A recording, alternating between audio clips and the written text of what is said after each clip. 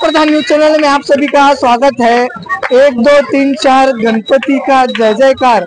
गणपति बप्पा मोरिया, अगले बरस तुम जल्दी आना। ऐसी आवाज़ें यहाँ पर आज हमें सुनने मिल रही हैं। जी हाँ आज गणपति बप्पा की विदाई है। आज गणपति विसर्जन का त्यौहार है। और इस वक्त हमारी मौजूदगी है सोलापुर शहर के कंबर तालाब परिसर में। और यहाँ पर आप देख सकते हैं किस तरह से लोग भगवान गणेश का यहाँ पर विसर्जन करते आपको नज़र आ रहे हैं।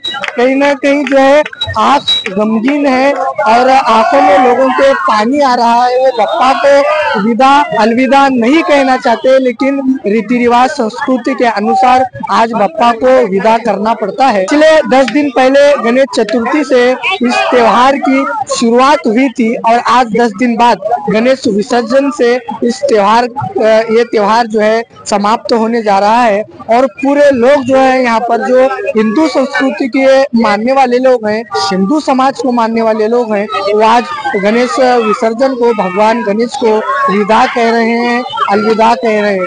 दस दिन पहले अपने दुकानों में, मकानों में, घरों में बप्पा विराजमान हुए थे और ये लोगों ने दस दिन पूजा पाठ कर बप्पा से देश की अमन शांति और अपने लिए प्रार्थना की।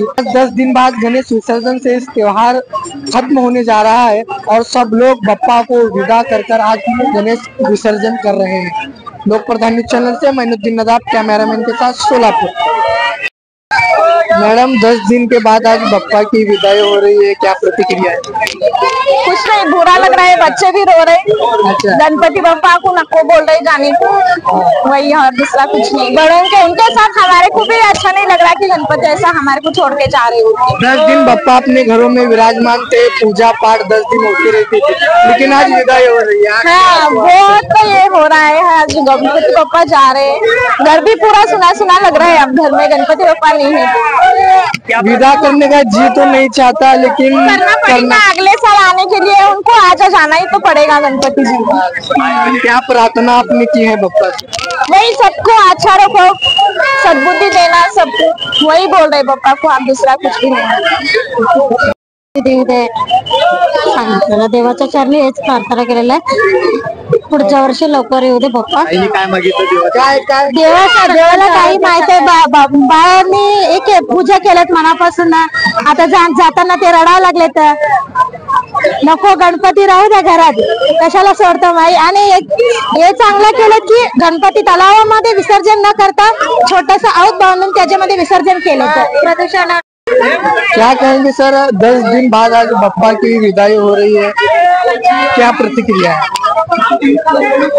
बप्पा जी दस दिन घर में रहे तो बहुत ही अच्छा लग रहा है।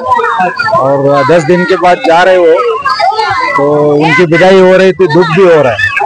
जी तो नहीं चाहता कि बप्पा को आज विदा करे लेकिन क्या प्रतिक्रिया आपकी? रिवाज है उसके हिसाब में तो उनकी विदाई करनी पड़ेगी। दस दिन के बाद उनको पानी में विसर्जित करना पड़ेगा। आप क्या कहेंगे? आँख में आपके आँसू दिख रहे हैं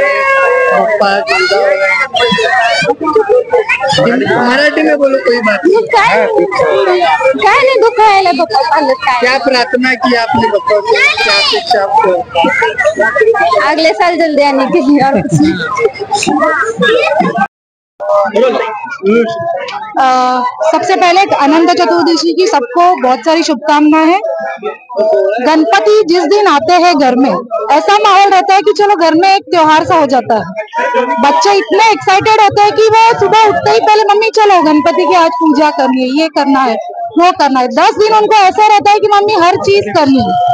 और आज जब विसर्जन का दिन आता है तो उनका मुँह यानी ऐसा हो जाता है कि, मम्मी, विसर्जन क्यों करना है? बट जो रूल है, वो तो फॉलो करने ही पड़ते हैं। इसके लिए बच्चों को भी समझाना पड़ता है कि आज विसर्जन इसलिए इतने एक्साइटमेंट के साथ हमारे कॉलोनी के सारे बच्चे भी इस विसर्जन में शामिल हो रहे हैं। और हम वृंदावन सोसाइटी से हैं। सारी लेडीज़ सारे जेंट्स सारे बच्चे सब एक साथ में इस विसर्जन के लिए आए हैं। देखा जाता है सिर्फ़ तो मूर्ति पानी में विसर्जन होती है।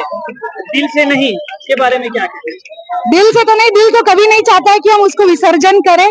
बट वो कहते हैं ना जो नियम है वो निभाने पड़ते हैं। से हम वृंदावन सोसाइटी में ही रह रहे हैं और इसी तरह हम हर साल गणपति का विसर्जन करने के लिए सारे जेंट्स, लेडीज़, बच्चे सभी यहाँ पे आते हैं।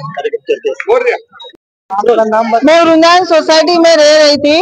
दस साल से मैं बेंगलोर हूँ और बेंगलोर से मैं विसर्जन के लिए सोलापुर आ रही हूँ। गणपति करने के लिए आठ दिन। इतना अच्छा हो रहा है, वैसा काम भी नहीं हो रहा है। दस दिन के बाद आज बप्पा की मिठाई हो रही है कैसा आपको वो बहुत फील होता है जाने ऐसा लगता है कि कोई घर से निकल गया। अच्छा। क्या प्रार्थना की आप पप्पा से? बस हर टाइम ऐसा सुख शांति दे और देश का विकास हो ऐसा शांति। आज पप्पा की विदाई हो रही है कैसा है? आज गणपति बप्पा की विदाई हो रही है। हम लोग को बिल्कुल अच्छा नहीं लग रहा है। फिर भी उनको विदाई करनी ही पड़। रही है दस दिन पूजा प्रार्थना करने के इतनी खुशी होती ग्यारह दिन के पूछो ही कि मतलब ऐसा ऐसा टाइम ऐसा जाता है कि बिल्कुल मालूम नहीं पड़ता। दिन क्या है रात क्या ऐसा टाइम क्या प्रार्थना क्या बप्पा से दस दिन आप पूजा पाठ की प्रार्थना क्या पूरे माहौल का सबका अच्छा होना। पहिला सर्वांना अनंत चतुर्दशीच्या शुभकामना गणपती दहा दहा दिवस आम्ही बसवले यावेळेस गणपती पूर्ण दहा दिवस बसले. आणि आमच्या परिवारातला एक सदस्य म्हणून आम्ही त्यांच्याकडे पाहत होतो सर्व महाराष्ट्र आणि आमच्या वृंदावन सोसायटीतील सर्व मेंबर यांनी सुद्धा या गणपतीचा उत्सव सर्व मिळून साजरा केला. आणि आज त्यांना बाप्पाला विदाई देताना सगळ्याला दुःख होत आहे. परंतु नियमाप्रमाणे आपल्याला गणपतीच्या मूर्तीचं विसर्जन करावंच लागतंय. आणि ते विसर्जन करत असताना सोलापूर महानगरपालिकेच्या वतीने जे आज इथं कुंड केलेत आणि स्वच्छतेच्या हिशोबाने जे करतात त्याला आम्ही सहकार्य करतो आणि या कुंडमध्ये आम्ही गणपतीचं विसर्जन करतो. आणि लोकप्रधान चॅनलचा आम्ही आभारी आहे की तुम्ही आज आमच्या या सर्व विसर्जनाचा लाईव्ह दाखवा लागलात.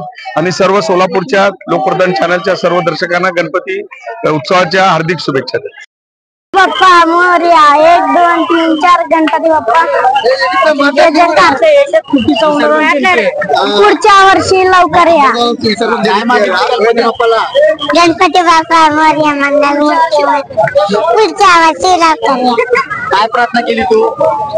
जय देव जेव्हा मला शाळेत एक नंबर बुद्धी येऊ दे दे नाही. शाळेत एक नंबर येऊ दे. गणपती बाप्पा मला बुद्धी दे असं मी प्रार्थना केली